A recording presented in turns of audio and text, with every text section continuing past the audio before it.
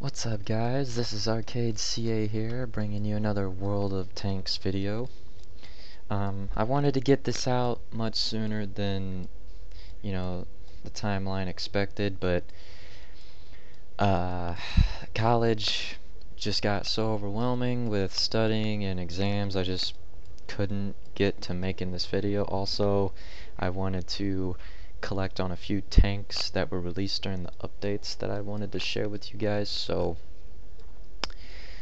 it's finally here and now I want to show you my updated garage. First off T-34 tier 8 American heavy premium tank.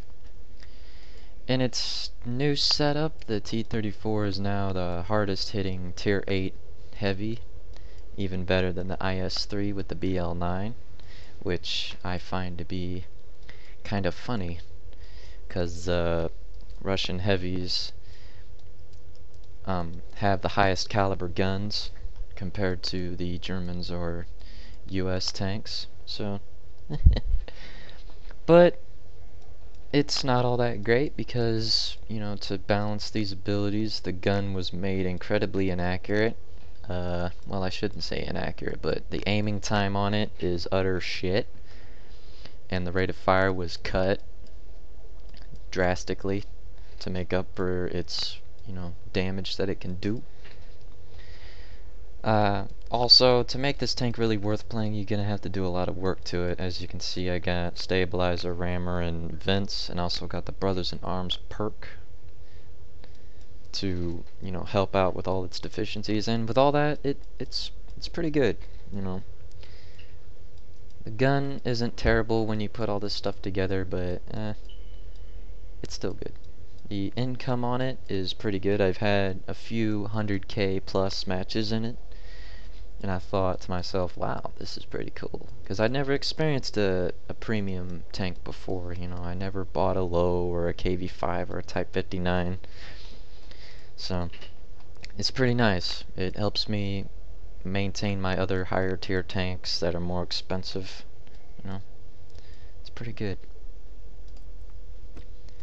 Next up, the T110 Tier 10 American Heavy. Replace the T30.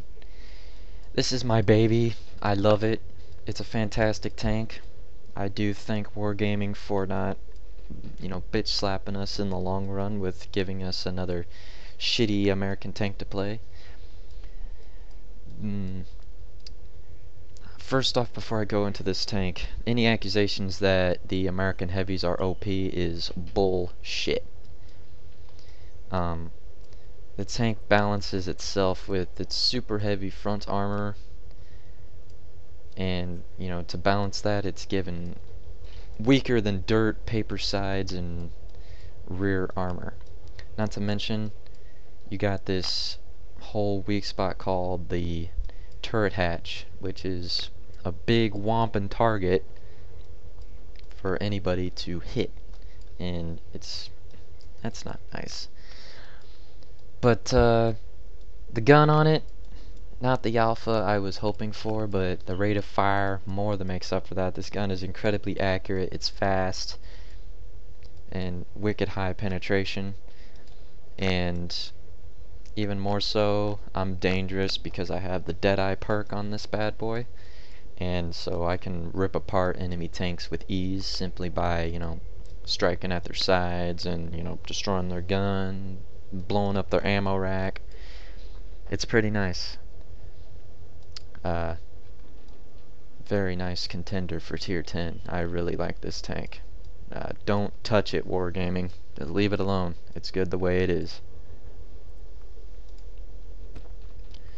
I'm going to go over the T-30 in its tank destroyer state. Since the last time I went over it, it was a tier 10. Um, in its tank destroyer state, I do believe it's right where it should be. The weak hull armor is a dead giveaway. So, um, the now that it's a TD, it can survive a little better in combat because it, it's able to hide a little bit better. The gun is very pleasing. The damage on it hasn't changed. Nothing's changed on the T-30 except its health and turret rotation. to balance the fact that it's a turreted TD. Um,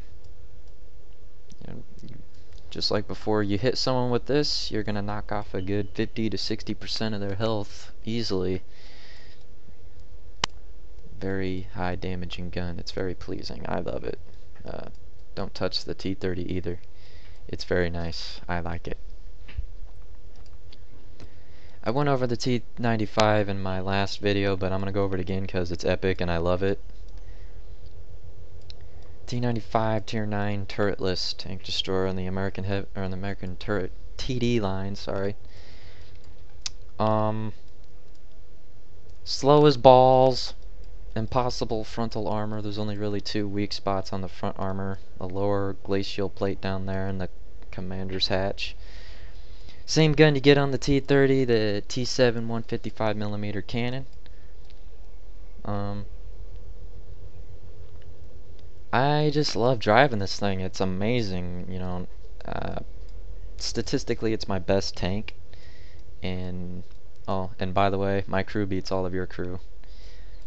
The research on their fourth skill like now. There's probably a few others that have, oh, excuse me, four skills on their tank. But you know, I just want to say my T95 crew is an absolute beast, and I will blow you up.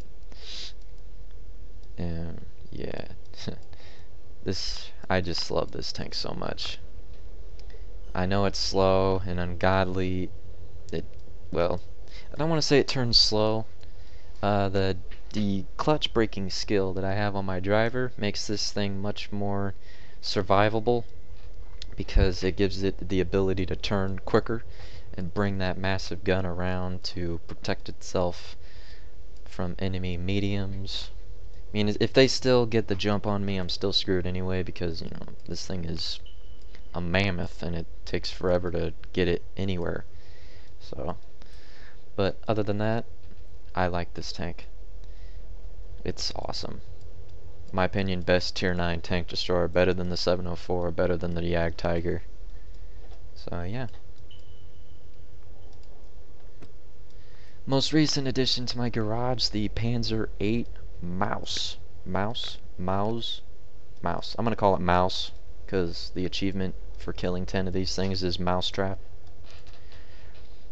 Uh, I never thought I would be going in any other nation of tanks other than American. I would just primarily stick to American tanks. But I was curious, you know, I wanted to see how this thing drives. It's a whole nother breed of tank uh, armor everywhere. You know, there's no weak point in terms of, you know, weak armor because everywhere it's incredibly thick armor. What sort of makes it sucks to drive is that everyone knows how to kill it. you know, the weak spots on the cheeks of the turret, you know, the mud flaps here, the center there, uh, the large silhouettes, if I if you go in on me flat, you'll be able to penetrate my sides. Um, also, I just got this tank, so I'm not really familiar on how to drive it.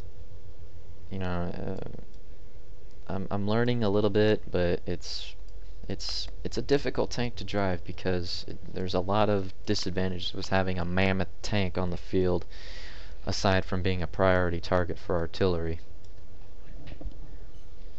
Um, if a low profile tank parks up on my sides and he has enough penetration to get through my side armor, he's pretty much got me because I can't aim down low enough to shoot him, which kind of sucks.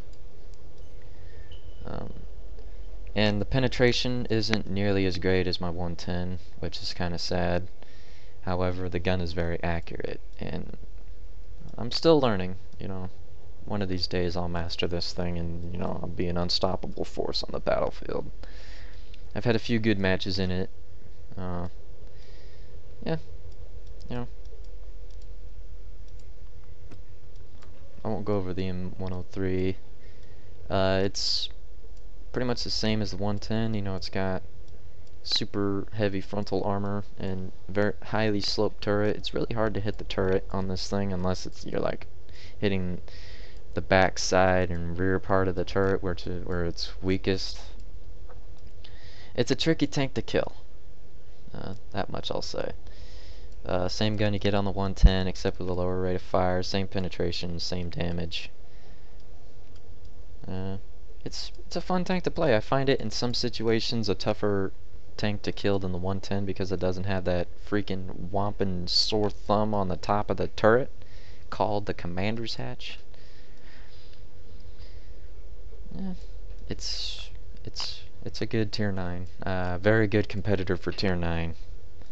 Uh, yeah. Let's see.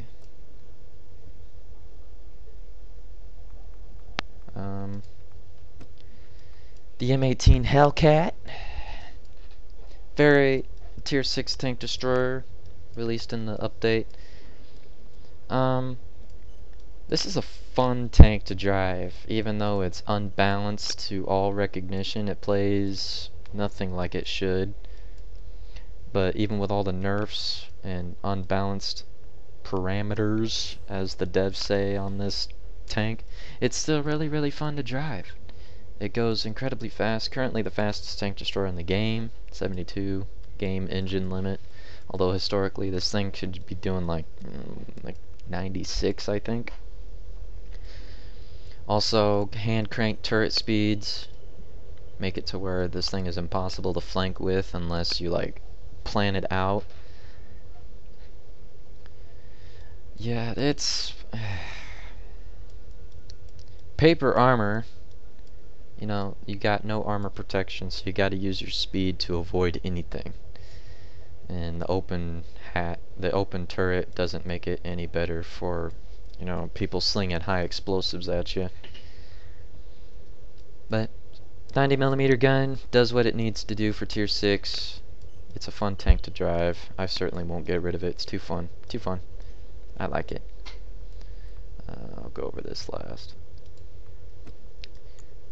VK4502 Ausf B, aka the baby mouse. Um, Initially, I skipped this tank just to grind up to the mouse, but then I bought it back because, you know, I was my friends told me this is a really fun tank to drive, and I have to agree with them. I don't have it elited yet. I still need the top engine. Uh, 128 millimeter or the 12.8 centimeter gun is the same gun you get on the mouse. It's a pretty accurate gun. Rear mount turret design kind of makes it a trick to drive. Uh, and the problem with German heavies is that their engines get damaged very frequently. So, and you know, I don't need I don't need this tank to be slower than it is because it's ungodly slow compared to the rest of my tanks. But yeah, it's pretty fun tank to drive. You know, I don't think the E75 is a dominant tier 9 over this because I've killed my share of E75s with it already and I haven't had it that long. Uh, statistically it does have better frontal armor but the E75 has a more angled armor plate on the front making it seem like it has better armor but by the numbers this thing has better armor except for the sides, but the sides are still pretty good. 100 millimeters side and rear. Um, yeah, it's it's a pretty fun tank. I actually enjoy playing it. Haven't had it for very long, but I can already say I'm gonna have a lot of fun with this tank. And last, but certainly not least, the T-92 American Artillery. Mm. It's a very, very powerful artillery. Currently the highest damaging gun in the game. Pulling out a maximum 2813. Although, you know, with HE, you're probably never going to see that number. Uh, what can I say about this? Mixed feelings about it. Gun is great accuracy and reload time are utter shit. I sometimes pull my hair out with the accuracy of this gun. I can be completely zeroed in on a tank and still miss by a long shot, by a complete mile, and like barely splash them. But if I get a direct hit, if you're not dead, you're gonna be hurting in the hugest way. That's how it works. Um, as a question for armor piercing rounds. Have I hit anyone with them? Yes, I have. And let me just say, just like HE, if you're not dead, you are going to be hurting in the hugest way. I mean, problem with AP rounds is that no splash whatsoever. Um, so if you miss, you you you just completely wasted around because you didn't even splash them, which is what this thing does best. You rely on splash damage more than anything else to do damage with this tank, or this artillery.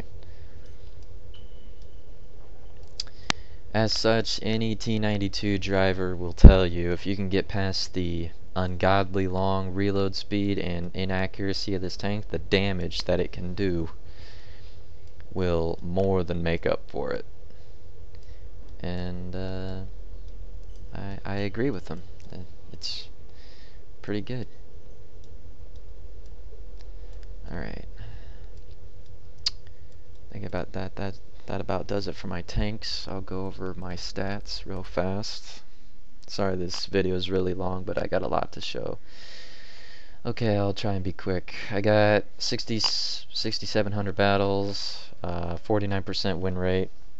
This is because I find this to be pretty good because mostly, most like 99% of these matches are pubs. Like my clan really doesn't do a lot of clan wars. I mean, we do, but not really enough to make a difference. I've destroyed 7,200 tanks, maximum destroyed in battle with my Hellcat 8, although my T95 has 8 kills as well, but this overlapped it for some reason. Overall hit ratio 63%, damage 8,480,000. Uh, average experience per battle 563. Like I said, this is primarily because these are pub matches. I find this to be pretty good considering. Uh, maximum experience in battle is 2098 with my T110. Um, it's pretty good. I got the mastery badge for the 110 uh, T34, T82, M18 Hellcat, and uh, a bunch of other mastery badges from other stuff. I got the, see I'm learning, you know, mastery badge 1 for the mouse, you know, I'm learning how to drive it. Statistically my best tank. I'm winning more than I'm losing with it. Like I said, 75% hit ratio, maximum destroyed in battle. I destroyed a lot of tanks with this bad boy. I just freaking love the 95. It's my favorite tank. Um, see, I got two Halens medals. I'm assuming that's how you say that. Six Boelter's medals, and uh, I'm going to try and say that. Two of those medals. 46 Top Guns, 30, 13, 13 Invaders, 36 Scouts, 7 Defenders, 18 Confederates, 190 Steel Walls, and 190 Snipers. Also, back to the 95, if you can find someone who has, like, even at least one Invader. I got 5 in mine. That just shows you I'm a beast. it's fun, you know thing is slower than balls, so it takes forever to get it anywhere. So if you can get on the base and cap it with a 95, that's pretty awesome. I just wanted to share that. Um, sharpshooter 45, 6 reaper, 11 hunters, 2 mouse traps. I got invincible. This thing was hard as hell to get, by the way. Master tanker, 28 Master Gunners, 6 Kamikazes, and you all know what these are, so I'm not going to go over them. Um, I'd say that that about does it. Well, I uh, hope you enjoyed this video. comment, rate, subscribe, do what you need to do. Um, if you have any questions regarding my tanks, you, want to know anything more about uh, what I do, comment down below. You know, I'll happily answer your questions. But this is Arcade CA and Arcade 1000. And everyone, good hunting. I hope to see you on the battlefield.